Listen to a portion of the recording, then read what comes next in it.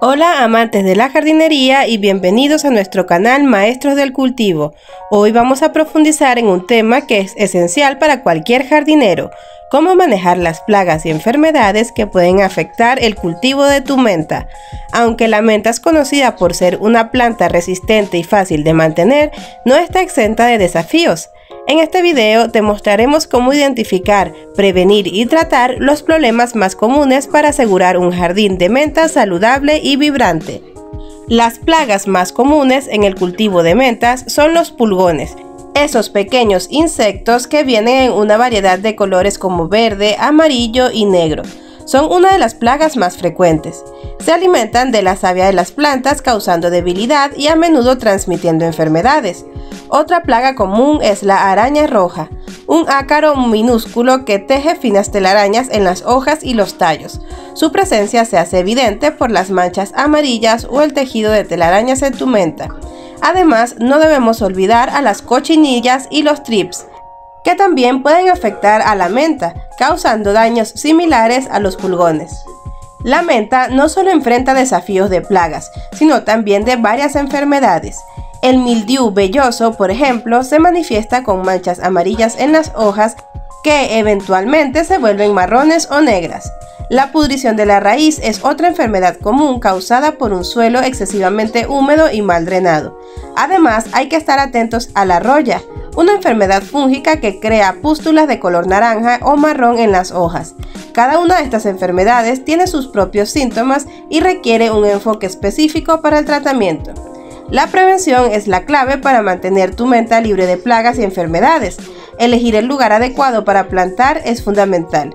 La menta prefiere un suelo bien drenado y una ubicación que reciba suficiente luz solar. Además, el riego debe hacerse de manera que la tierra se mantenga húmeda pero no encharcada. El agua por la mañana es ideal, ya que permite que las hojas se sequen durante el día. Mantener un espacio adecuado entre tus plantas de menta también es importante para asegurar una buena circulación de aire, lo que reduce la humedad y previene el desarrollo de hongos. Además, mantener tu jardín limpio de malezas y escombros es esencial, ya que estos pueden albergar plagas y enfermedades. Cuando se trata de controlar las plagas y enfermedades, siempre es preferible optar por las opciones orgánicas y ecológicas. Para combatir los pulgones, un fuerte chorro de agua puede ser suficiente para desalojarlos de las plantas. Si esto no funciona, considera utilizar jabón insecticida o aceite de neem, que son efectivos y seguros para el medio ambiente. En el caso de las arañas rojas, debes aumentar la humedad alrededor de tus plantas, ya que esto puede ayudar. Ellas prefieren condiciones secas.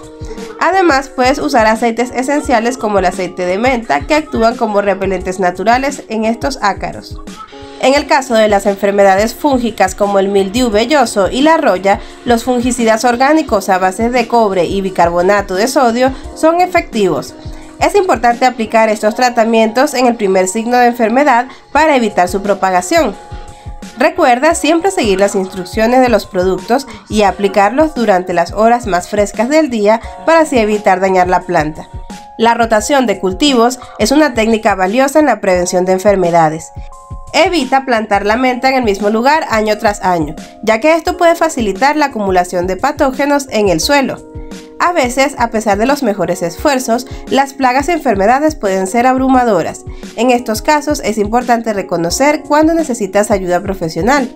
Consulta con un experto en jardinería o un agrónomo para que puedas darte una perspectiva más amplia y soluciones específicas.